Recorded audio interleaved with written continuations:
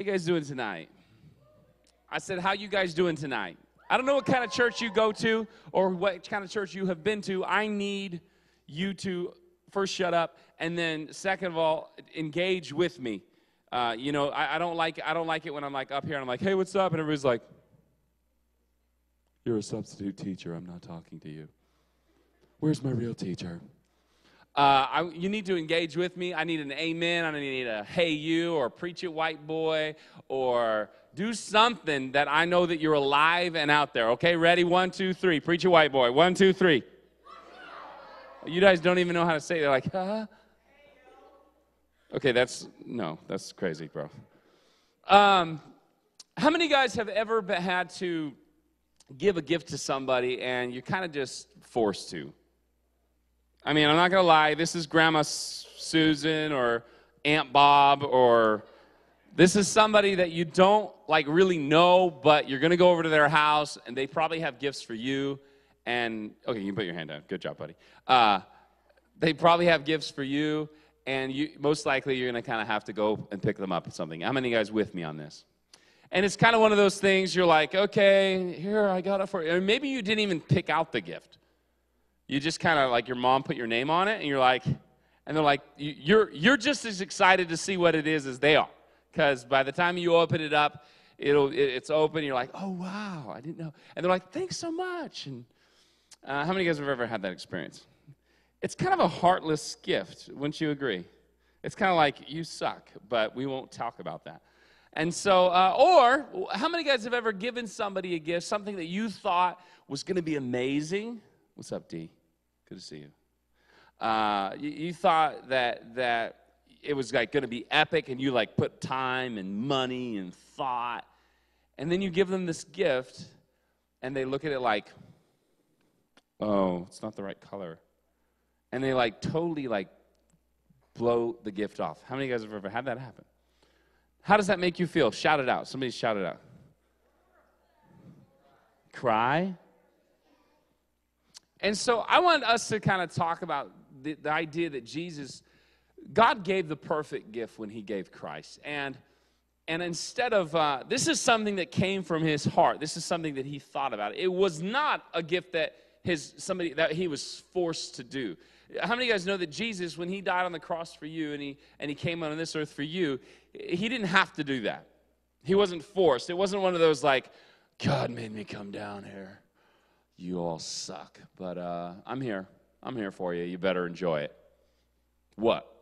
That wasn't his attitude at all. Um, but, but, but it actually says in the Bible that he laid his life down freely out of his own free will because he th- saw you ahead of time and he thought about you ahead of time and you were so valuable ahead of time that he made this decision consciously. And rather than us think about uh, and not wasting time on this gift, I, I think it would be very ugly of us, my daughter right now, she's three. For some reason, one of the daughters, the oldest one, she's three, and we cannot get either of them really to show excitement on gifts yet. They, they like, uh, we've, we've brought them into like uh, houses. Uh, we, their, their, grandparents got them a big, um, like a kid's house, playhouse, like the coolest thing that I never got because we were poor. But yeah, they got it, and I'm not jealous. Uh, it's all right, I'm dealing with it. Um, but it's huge, right? And, and they're both like, you bring it in, you're like, hey, here's the house. And they're like, you're like, dude, show some emotion. Like, are you excited? Go look at it. And that's what they do. And sometimes we pay, I, I think we tell people, hey, Jesus died for your sins. Hey, Jesus came to this earth, paid a price that you could not pay so that you can live and not die, so that you can go to heaven and not hell. He loves you, you're important. And not only does He love you and you're important, you're amazing, but He also made a way so that you can be victorious here on earth, so that you can have life and life more abundantly. And people are like, I don't really know if I believe that. This is the gift that God gave. This is the point of the season. We're good, and when we talk about Christians, you, you sometimes the word hypocrites come around, and the word, you know, um, stuck up or prideful or um, judgmental. How many guys know those words come up? It's like, and guys, the bottom line, this whole thing, the whole point, the reason we celebrate Jesus at this time of year is because he made a way where there was no way for a people that was pretty screwed up. Uh, I was talking to a British, British so, he was fixing some lights. You know, he's from, he's from the UK. And he was fixing some lights in my house the other day. And he was just going through and he, was, he had a foul mouth, but I, I just enjoyed it. Uh, well, I didn't really enjoy it, but I just went with it, right? And so, but he was talking about like, oh, it's so screwed up in this world. It's so screwed up. And, and I started thinking about like, you know what? Man has been kind of screwed up for a while. You think about like 10 years ago, it was screwed up. 20 years ago, it was screwed up. 60 years ago, World War II, you guys remember that? That was kind of a big deal. That was pretty screwed up. Countries killing each other like by the thousands, flattening London and that's pretty screwed up. 80 years ago, World War I. That's pretty screwed up. You keep going back to the Civil War. That, you know, the country turning against each other and like killing each other. It's pretty screwed up. You know, you go to 1776, you know, you get around um, Britain uh, oppressing America and th- them throwing tea overboard and, and, and people riot. That was pretty screwed up. Keep going further back. We got like Rome. We got we got all sorts of that. We as a society, as a people, as mankind, have been killing each other for a long time. And us, left alone by ourselves to ourselves, we're screwed up. But with Christ, and look at that, that's the beauty of it all. He looks across the span of time he says, I'll die for you. I'll give a gift and I don't care whether they like it. I don't care whether they accept it. I don't care whether they think it's the greatest thing or not. I'm going to give it from my heart, and I'm going to die for them, and I'm going to give it to them because I love them. And, and that is tonight as we, you know, we're getting into Christmas season. And guys, it's so easy to want the next iPhone. It's so easy to want like the next gadget. It's so easy to want a new pair of shoes or or stuff. And stuff is cool. Uh, dude, I like shopping. I'm not going to lie. I sometimes have to get delivered from stuff, but I love stuff too. But the point of Christmas is not stuff. It's the fact that somebody gave a life for you so that you can have a life abundantly. It's, as, as we go into Christmas, as we go, how dare we just blow off the gift of Jesus? How dare we? I mean, think, like I was, I was, I was thinking about this. Imagine, like, all right, Isaiah, it's your birthday, man, and because you're so cool, everybody's gonna get a gift but you. it's gonna be awesome.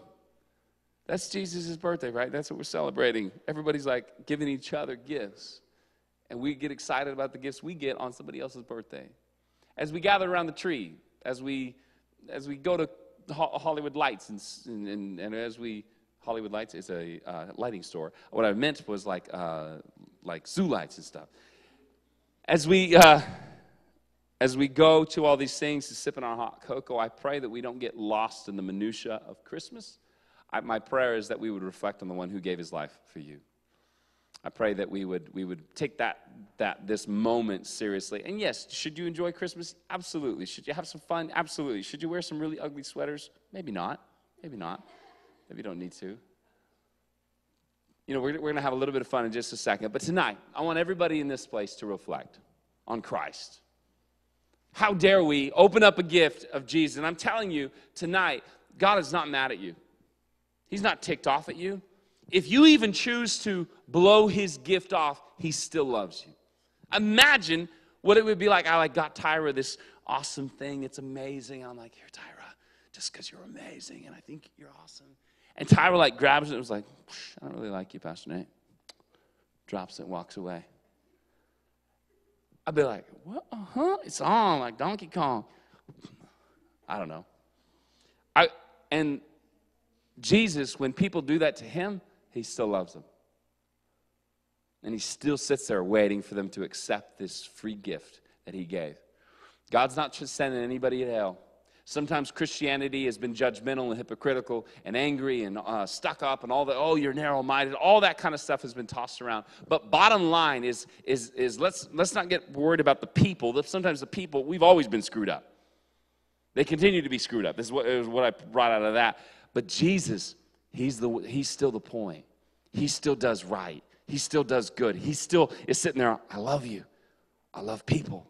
I did this for you willingly. So I challenge you tonight. If you've never asked Jesus into your heart, if you've never said, Man, I received that gift, please don't walk on it. Some of you guys have heard about this. We, they make fun of it and sometimes in movies, being born again or, or, or asking Jesus into your heart or being saved. All of these, these moments in time, all it is, is to say, Lord, I believe that you died for me. Let me put it to you this way. We, we, we talked about a little bit about this last week, but imagine uh, Tyra, she's a thug. Look at her. She, she's thug. And we got cameras of, of Tyra breaking into cars and stealing things out of the cars. And we got, we got her on camera beating people up. We got her on camera breaking into stores. And she, she's standing in court. The videos have been played. And, and she's right about to get a sentence. You've broken in multiple places, multiple things. Here's the proof. You're guilty. She knows she's guilty. She's not even fighting it. And somebody pipes up from the back of the room I'll pay her fine, I'll do her time. It's not because she's a good person, it's because the guy paying the fine, doing the time for her, he's awesome. Pipes says, Hey, I'll do it. Tyra naturally, I hope, would say, Thank you. The words could not express.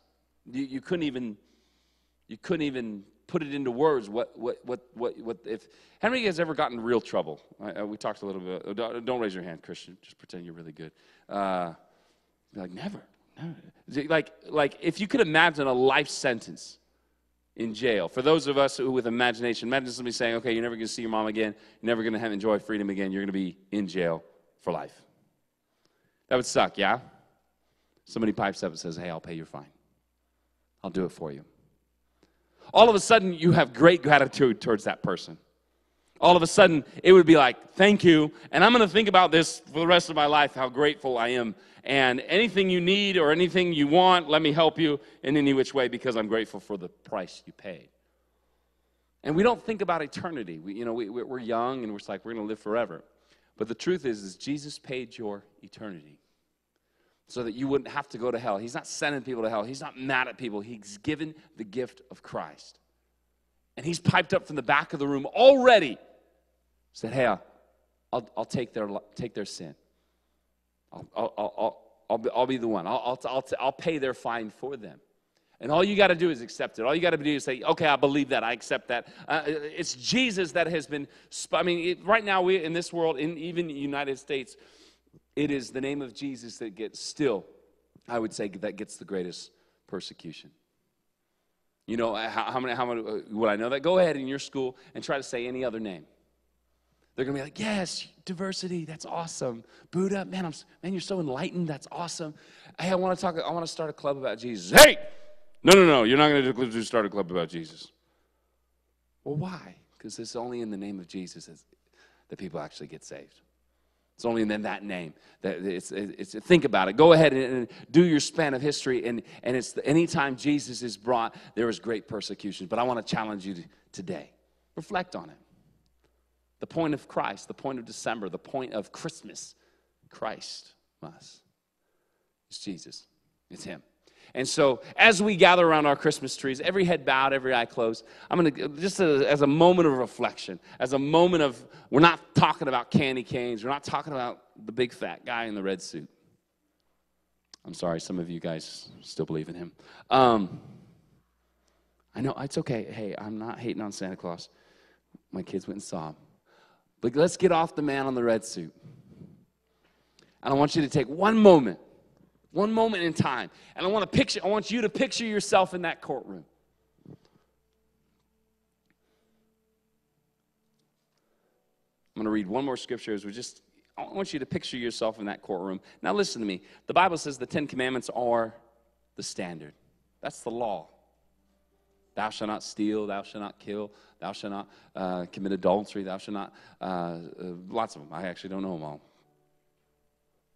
But the Bible does say if you've broken one, you've broken all of them. And you're guilty of the same. So let's just clear, clarify right now we're all stupid, myself included.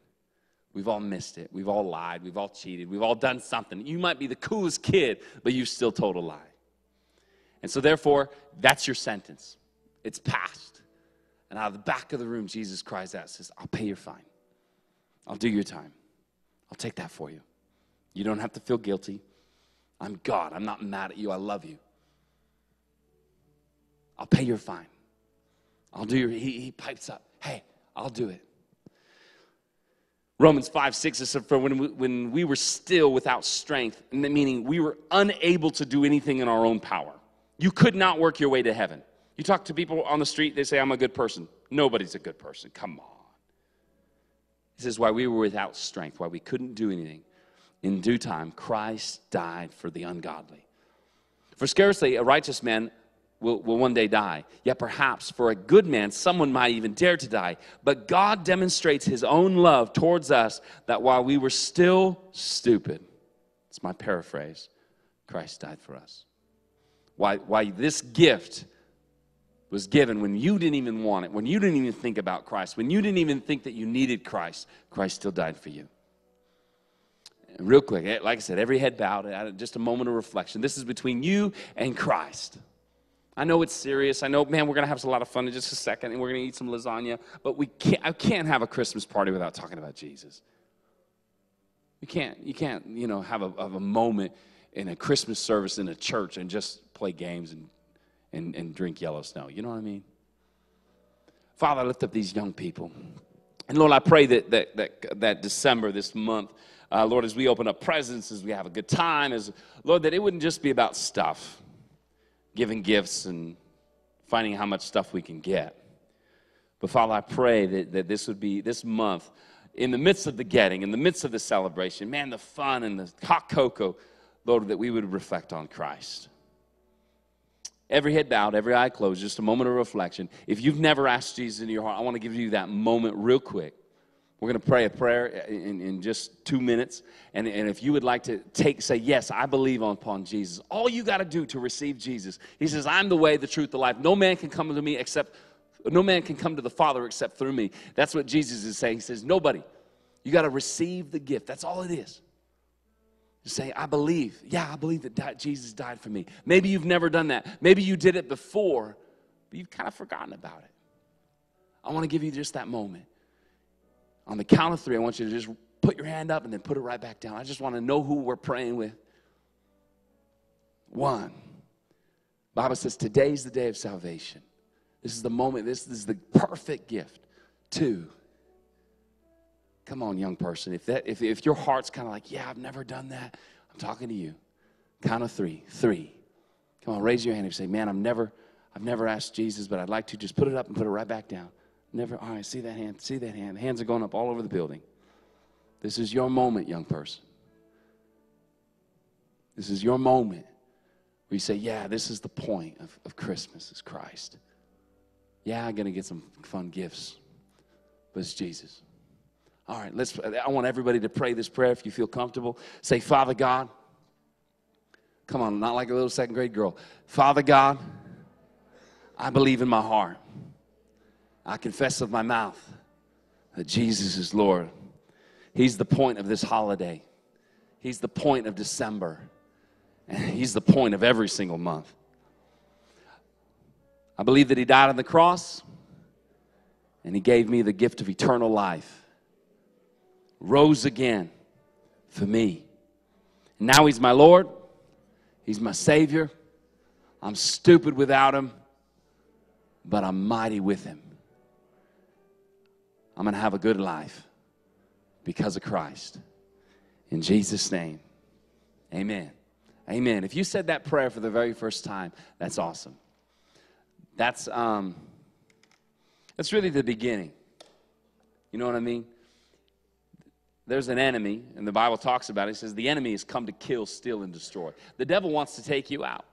The devil wants to kill you. The devil wants to bombard you with thoughts of stupidity and, and oh, I'm just a screw up. I'm no good. God's mad at you.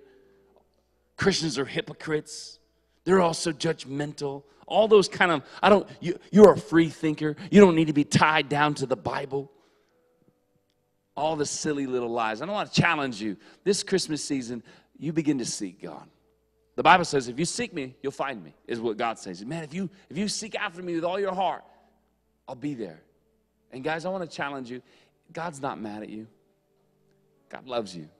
He values you. Not only does he did he die for your sins, now he, he wants to give you a vibrant life. That's a good thing. It's not a bad thing. Christianity isn't like, okay, we're not having any fun. We're Christians. Look sour faced and somber. Man, Christianity is awesome. We have a ball. I go to sleep every night with peace and joy and happiness, knowing my wife's not sleeping around on me. I know that sounds kind of morbid, but man, it's, it's awesome. A life's a good life. When, when we plug into what God's got for you, everybody, it takes two to tango. I'm not saying per, life's perfect, but I'm saying God's good. Even in the midst of tragedy and junk, God keeps us, helps us, holds us up. That's the point of Christianity. Amen? All right. If you prayed that prayer, I just want you to, real quick, I want you to go over and grab a book from my wife. If you prayed that prayer and you meant it, no obligation. I'm not, we're not trying to even convert anybody tonight. But I, I like I said, I, I can't talk about Jesus. We can't, we can't have a Christmas party without Christ. You know what I'm saying? I don't want to just put on scarves and, and, and, hats and talk about Santa. I want to talk about Jesus.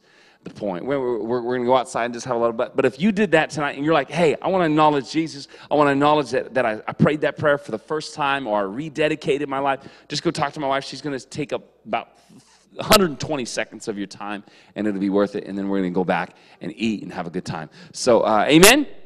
Love you. You are dismissed.